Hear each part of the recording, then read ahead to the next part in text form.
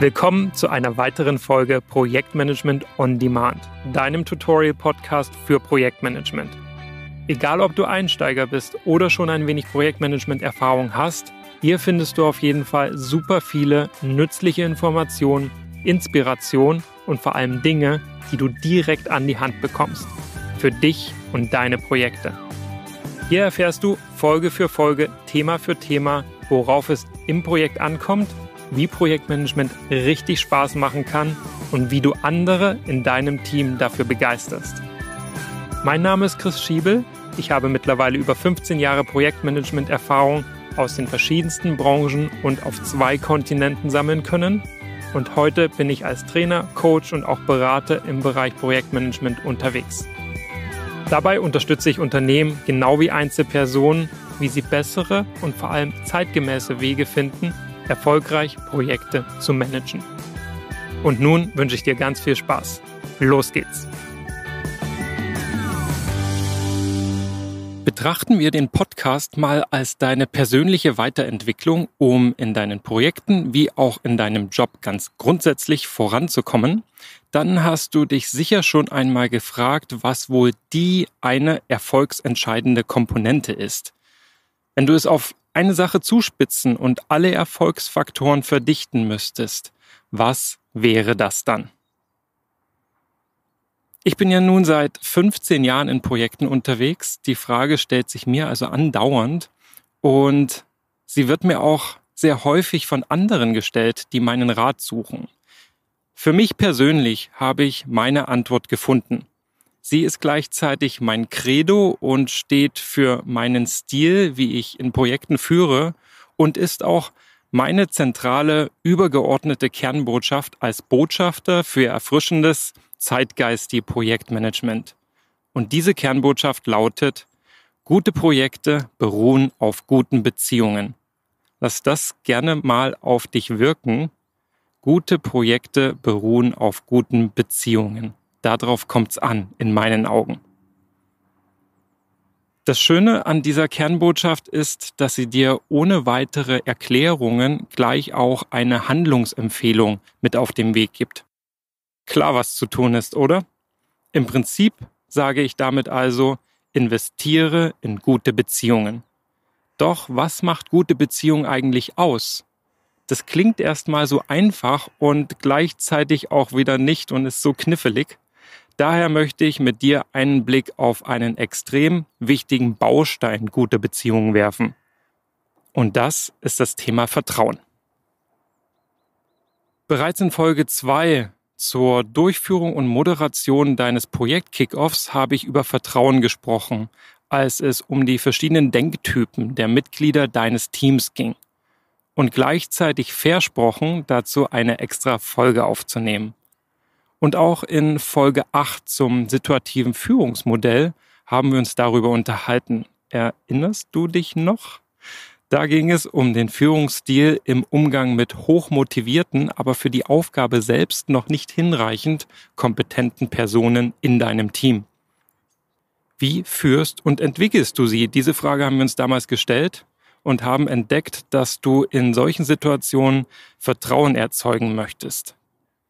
Das gelang dir, indem ihr gemeinsam beratschlagt und diskutiert habt und du Details erläutert hast, um Verständnislücken zu füllen. Dich also sehr intensiv mit dieser Person austauscht, bei Fragen da bist und dich unterstützend für ihre Sache einsetzt. So entstand Vertrauen in Podcast Folge 8. Wie du siehst, Vertrauen ist also eine deiner Grundpfeiler für gute Beziehungen zu egal wem in deinem Projekt und Teil deiner Führungskompetenz bzw. Akzeptanz als Führungsperson. Und nun ist es soweit. Du und ich, wir sehen uns jetzt die Vertrauensformel an und beantworten mit dieser Podcast-Folge folgende drei Kernfragen. Wie erzeugst du überhaupt Vertrauen bei anderen Personen? Was veranlasst dich persönlich dazu zu sagen, dieser Person kann ich vertrauen und warum beeinflusst Vertrauen so grundlegend unsere Zusammenarbeit im Team? Legen wir los. Und zwar gleich mit Pauken und Trompeten, denn hier kommt die im Titel angepriesene Vertrauensformel. Hast du Zettel und Stift bereit? Diese lautet, Vertrauen ist gleich Glaubwürdigkeit plus Zuverlässigkeit plus Nähe, geteilt durch Selbstorientierung. Hast du die dir notiert? Super. Dann lass sie dir gleich nochmal auf der Zunge zergehen. Wie viel Vertrauen du jemand anderem entgegenbringst und wie vertrauenswürdig du für andere bist, ergibt sich also aus deiner Glaubwürdigkeit, deiner Zuverlässigkeit und Nähe und nimmt ab mit einer übersteigerten Selbstorientierung, weshalb diese unter dem Bruchstrich steht. Die Formel stammt übrigens nicht von mir, sondern aus dem Buch The Trusted Advisor. Darin geht es um einen von Vertrauen geprägten Führungsstil. Das Buch verlinke ich dir wie immer in den Show Notes. Wie sieht's bei dir jetzt aus? Hast du Fragen und Lust, dass wir uns die Formel mal genauer ansehen und tiefer eintauchen? Okay, cool. Ich auch. Dann los. Wir nehmen die einzelnen Elemente, besser gesagt Variablen der Formel, gemeinsam genauer unter die Lupe. Starten wir mit Glaubwürdigkeit. Was macht dich glaubwürdig gegenüber anderen? Gehen wir mal von dir aus und drehen es um. Das ist einfacher. Was lässt dich sagen, ja, diese oder jene Person erscheint mir glaubwürdig? Ganz sicher spielt die Kompetenz der Person eine besondere Rolle. Sowohl fachlich als auch persönlich. Wenn dein Projekt beispielsweise daran besteht, eine große Social-Media-Kampagne aufzusetzen und durchzuführen und eines deiner Teammitglieder bereits seit fünf Jahren ziemlich erfolgreiche und obendrein recht coole Social-Media-Kampagnen projektiert, dann erscheint die Person in deinen Augen sehr wahrscheinlich glaubwürdig, wenn sie sagt, ich bin genau der Richtige für den Job. Diese fachliche Vita baut Vertrauen auf. Und auch der Faktor, dass all diese Kampagnen als sehr erfolgreich verbucht werden konnten, steigert diese Glaubwürdigkeit zusätzlich. Denn prinzipiell sind das die Referenzen dieser Person. Das gleiche gilt, wenn andere Dritte die Person für ihre Leistungen empfehlen, sie also einen guten Ruf genießt. Das untermauert ebenfalls die Glaubwürdigkeit und festigt den fachlichen Eindruck, den du von ihr hast. Wenn dann noch der Umgang mit dieser Person sehr angenehm ist, weil auch ihre persönliche Kompetenz stark ausgeprägt ist, dann Jackpot. Dann werden bei dir kaum Zweifel in puncto Glaubwürdigkeit aufkommen. Ich habe noch zwei weitere Beispiele mitgebracht. Wahrscheinlich kennst du den Podcast Coronavirus Update von NDR Info mit Professor Dr. Christian Drosten, dem Chefvirologen der Berliner Charité. Kaum jemand von uns kannte ihn vorher, doch der Podcast hat sich sprunghaft extremer Beliebtheit erfreut. Und die Medien, wie auch wir im Alltag, haben ihn viel zitiert und uns womöglich auch in gewisser Weise an seinen Worten orientiert.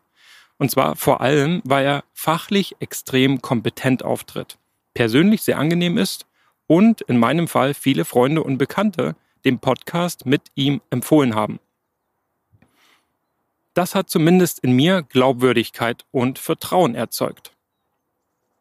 Du hast mitunter weitere Beispiele im Kopf, bei denen dich vor allem die Glaubwürdigkeit der Person dazu bewegt, dass du ihr Vertrauen schenkst und du dich an ihr orientierst. Oft ist das auch bei Fachbüchern oder Vorträgen wie TED Talks der Fall.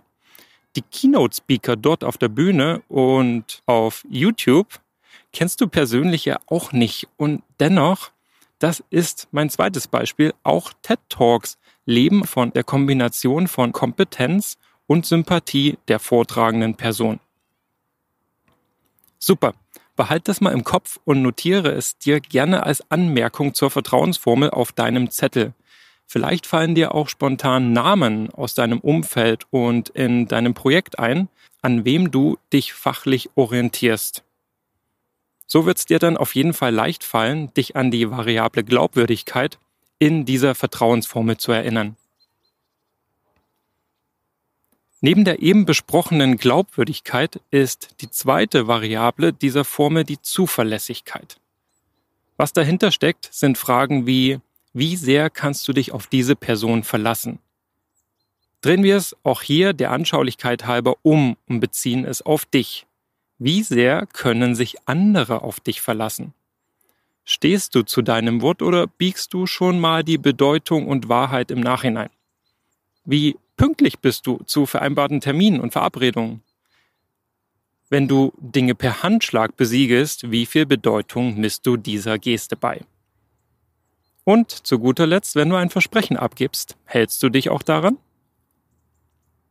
Statt Zuverlässigkeit benutze ich auch gerne den Begriff Integrität denn er impliziert in meinen Augen auch, ob du für die Dinge gerade stehst, die du getan hast, ob du der Verantwortung, die dir übertragen wird, gerecht wirst und dich dafür einsetzt, wenn du die Verantwortung angenommen hast. Stehst du dann auch für Fehler gerade? Können sich andere darauf verlassen, dass du dich an kommunizierte Deadlines, also Terminvereinbarungen hältst?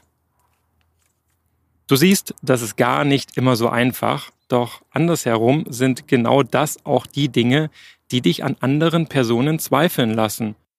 Du kennst sicherlich das Gefühl, wenn du dich nicht so richtig auf sie verlassen kannst, wenn Entscheidungen plötzlich ganz anders ausgelegt werden, als sie besprochen wurden. Wenn einige Teammitglieder stets fünf bis zehn Minuten zu spät selbst zu den wichtigsten Terminen erscheinen. Wenn es hart auf hart kommt, willst du dich auf andere verlassen können, um nicht alleine dazustehen, wenn es in deinem Projekt mal brennt, Risiken eintreten oder ihr wie zu Corona-Zeiten in den Krisenmodus schaltet. Und genau darum geht es hier bei der Zuverlässigkeit. Denn ist das der Fall, kannst du dich auf alle im Team verlassen. Seid ihr eine Bande, ein Haufen, der durch dick und dünn geht. Ein Team, das von außen so leicht nicht zu erschüttern oder entzweien ist wo einer den anderen auffängt, wenn mal etwas schief geht. Denk gerne mal nach in deinem Projektumfeld. Gibt es eine oder mehrere Personen, auf die du dich unbedingt verlassen kannst? Von der auch Kollegen und Kolleginnen sagen, dass auf sie Verlass ist? Notier dir gerne auch deren Namen an die Vertrauensformel auf deinem Zettel. Kommen wir zur dritten Variable der Formel über dem Bruchstrich. Diese lautet Nähe. Im Englischen benutzen die Autoren in The Trusted Advisor das Wort Intimacy, welches eins zu eins übersetzt Intimität bedeutet. Doch welche Bilder löst das bei dir im Kopf aus? Das Wort ist im Deutschen sehr stark mit körperlicher Nähe konnotiert und passt nicht so recht in einen beruflichen Kontext. Sehr häufig findest du deshalb eher die Übersetzung Vertrautheit. Ich benutze noch viel lieber das Wort Nähe, weil ich es irgendwie komisch finde, Vertrauen mit einem so ähnlichen Wort wie Vertrautheit zu erklären. Als würde ich ein Gebäude mit dem Wort Haus umschreiben. Mich bringt das nicht so richtig weiter und daher benutze ich Nähe und die damit verbundene Frage und Einschätzung, wie nahe ihr einander steht oder wie nah ihr euch seid, beispielsweise im Hinblick auf Meinungen, Überzeugungen, Interessen, Gemeinsamkeiten, Zielen, Herkunft, Werdegang, geteilten Erfahrungen, gemeinsame Bekannte und so weiter. All diese Dinge erzeugen Nähe. Dich und die andere Person wird das nämlich verbinden. Ihr kennt euch dadurch besser und habt viele gemeinsame Anknüpfungspunkte. Dadurch kannst du die andere Person auch besser einschätzen. Und das erzeugt Vertrautheit. In deinem Umfeld, privat genau wie im Projekt, werden dir auf Anhieb Menschen einfallen, die dir näher stehen als andere, mit denen du mehr teilst und gemein hast, die du näher an dich heranlässt als andere.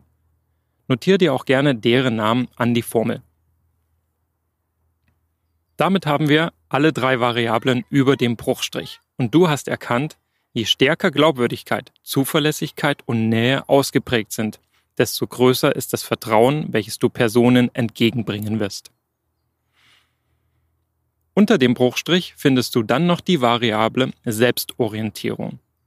Das bedeutet, je stärker eine Person, der du gerne vertrauen möchtest, ausschließlich ihre eigenen Interessen und Wünsche vertritt und je weniger sie auch die Interessen anderer, beispielsweise des Projektteams oder der Firma oder des Kunden berücksichtigt, desto weniger vertraust du ihr.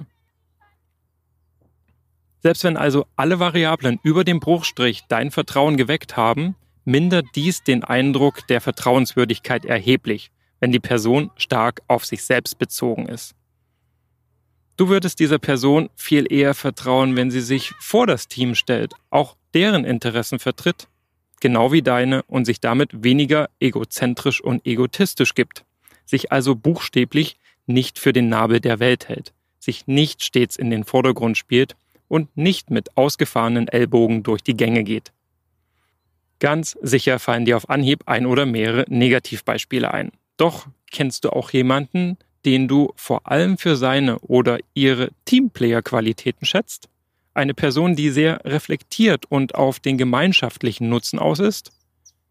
Notiere dir gerne auch ihren bzw. seinen Namen. So, schauen wir mal die Namen an, die du so notiert hast. Richtig krass wäre es jetzt, wenn du viermal denselben Namen auf dem Zettel stehen hast. Vermutlich hättest du eine extrem gute Beziehung zu diesem Menschen. Eine Beziehung, die belastbar ist, sich vielleicht bereits in Krisen als sehr robust erwiesen hat, von der du bereits öfter positiv überrascht wurdest. Mich würde es auf jeden Fall sehr freuen, wenn es solche Menschen in deiner Umgebung, im Projekt, genau wie in deinem Leben ganz allgemein gibt. Sicher würdest du dich mit ihr an deiner Seite in jede Art von Projekt stürzen, privat wie beruflich. Reflektieren wir kurz gemeinsam zur Vertrauensformel. Wozu ich dich ermutigen möchte, ist, den Blick auf dich selbst zu werfen. Für wie vertrauenswürdig hältst du dich? Wie sehr möchtest du, dass dich andere Menschen als vertrauenswürdig betrachten? Klar hast du recht, wenn du sagst, dass Vertrauen nicht immer und nicht allen unter uns gleich viel bedeutet. Doch sicher ist, dass die Arbeit im Team von einer Atmosphäre, die auf Vertrauen beruht, profitieren wird. Ganz einfach überprüfen kannst du die Formel mit der Frage, wie fühlen sich für dich Projekte leichter an? Vertraust du den Personen in deiner Umgebung, lösen die Projekte weniger Stress aus. Das ist klar und machen schlichtweg auch mehr Spaß. Und du kommst auch in schwierigen Zeiten früh sehr viel leichter aus dem Bett. Es ist wie im Sport, wenn du in einer eingeschworenen Mannschaft spielst. Da gehst du gerne zum Training. Und mit einem gut eingespielten Team gewinnen sich Titel leichter und sicher kennst du auch den Effekt, wenn Erfolg und Gemeinschaftsgefühl sogar auch Außenstehende mitreißen. Denn so ein Team, solche Beziehungen besitzen absolute Strahlkraft. Bevor ich dir abschließend noch einen super heißen Tipp mitgebe, hier meine Kernbotschaft für diese Folge. Die lautet, mach dir bewusst, welche deiner Worte und Taten auf diese Formel, die Vertrauensformel, einzahlen und welche nicht. Eine gute Führungskraft zeichnet aus, dass sich andere an ihr orientieren und ihr Vertrauen schenken. Möchtest du also als Führungskraft wahr und ernst genommen werden, nimm dir die Vertrauensformel als Vehikel und experimentiere ruhig gerne ein wenig damit rum. Ich würde mir zumindest sehr wünschen, dass andere über dich sagen, ja, auf dich ist Verlass, dir kann ich vertrauen, mit dir mache ich gerne Projekte. Und daher teile deine Erfahrung und dein Feedback mit mir. Ich finde das Thema extrem spannend und zeitlos und bedeutsam für mich hat Vertrauen großen Wert.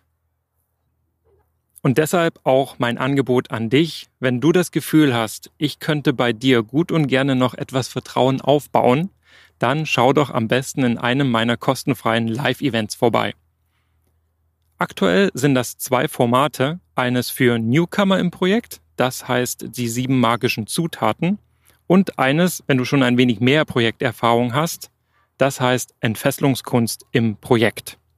Beide Events habe ich dir in den Show Notes verlinkt und bring du sehr gerne auch gleich die aktuellen Herausforderungen und Problemstellungen aus deinem Projekt mit, denn zusammen wollen wir das Event auch nutzen, um deinem Leben, Streben und Wirken im Projekt die nötige Leichtigkeit zu verleihen und es zum Erfolg zu führen.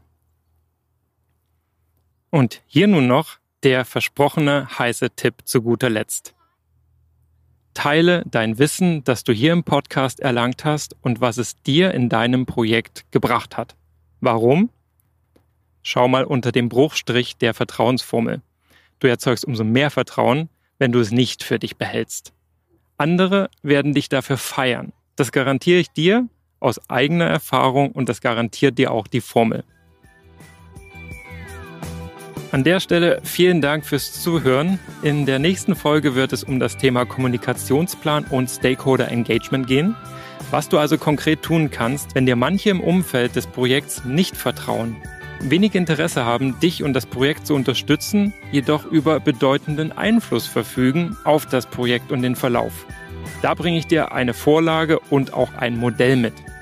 Und damit verabschiede ich mich bis zur nächsten Folge, wie gewohnt mit den Worten auf zur Brillanz.